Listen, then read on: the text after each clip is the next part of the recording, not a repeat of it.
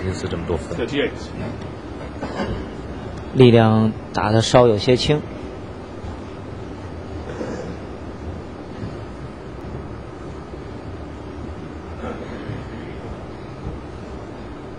新斯这杆准备弹两库呢，去叫绿球。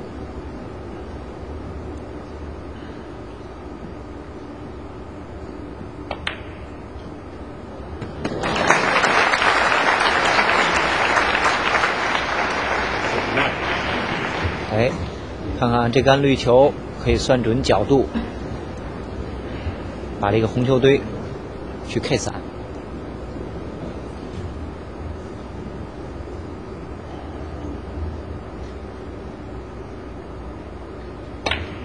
哎呀，没有打进，哦，还好是没有 K 到。嗯，John Higgins, 39. 由于没有打进，所以没有 K 到。对，打的太厚了啊！就要打薄的话，真的应该有可能是奥沙利文还有机会。嗯，三十九比一，落后的分数哎还并不是很多啊。这三十九分也是奥沙利文的一根失误送给希金斯的啊。嗯。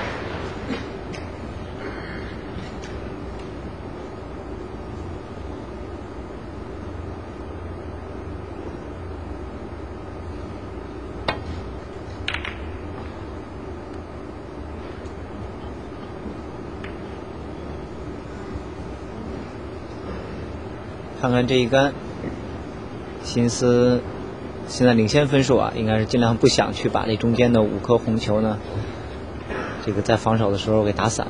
所以我们看一下心思是怎么来打。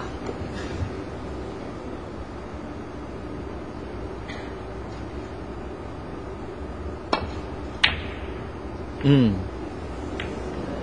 哎，有一颗红球去到中袋，哎呀，会不会打到啊？好像在可以见到。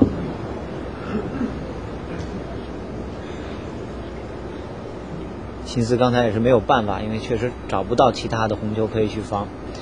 而查伦也是逼辛斯在防守的时候，好球漂亮。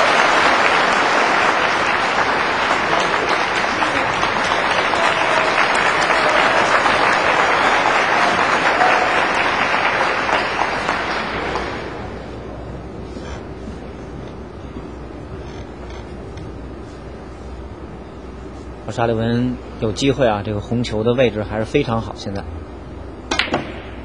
绿球先打进，中高杆的发力来弹一库，4. 看看这杆两库来去叫黑球，5. 好的，非常漂亮。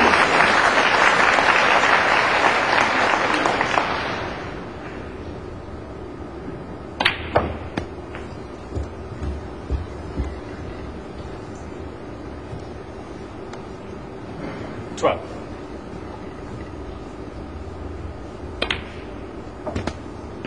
13.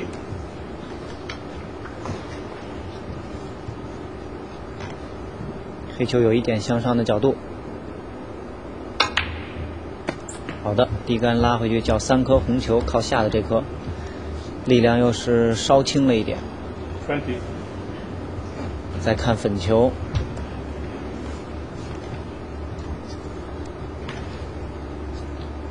中袋也是可以打，上方那颗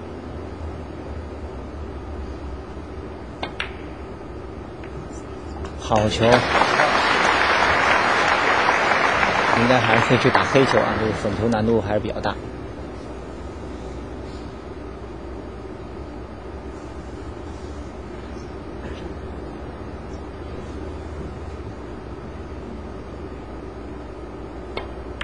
哎呀，好了，嗯。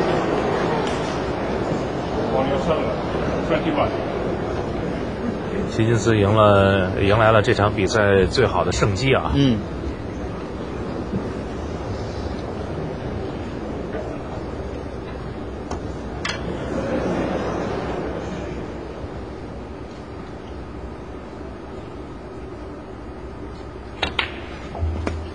加杆打进，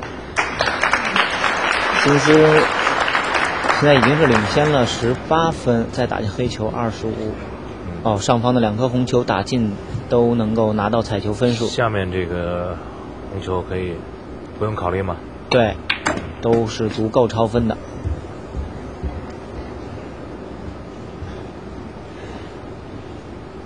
eight。而沙利文刚刚这杆黑球的失误还是不太应该啊，尽管有难度，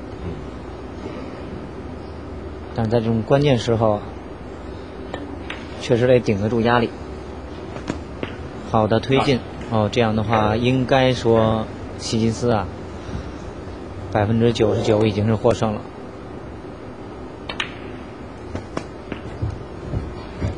看看这百分之一啊，还有没有可能出现意外？Sixteen。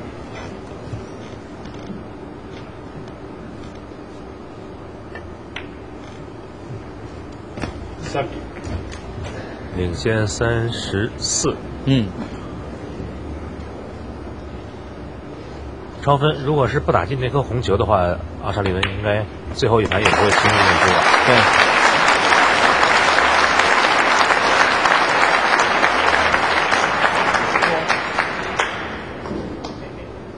制胜杆哦，打进，这样在这场巅峰对决中啊，还是以希金斯的胜出而告终。嗯，确实，这两个人呢，谁胜都是在情理之中。希金斯也是单赛季现在是排名第一。没错。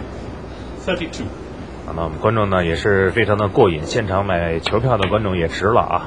大家看到了一场非常好看的比赛，我们既看到了很多妙到毫钉的进球和配球，又看到了不少匪夷所思的失误，这是一场充满戏剧性的比赛啊！观众朋友，感谢收看，感谢王卫国、唐指导的精彩点评，咱们下次节目再会。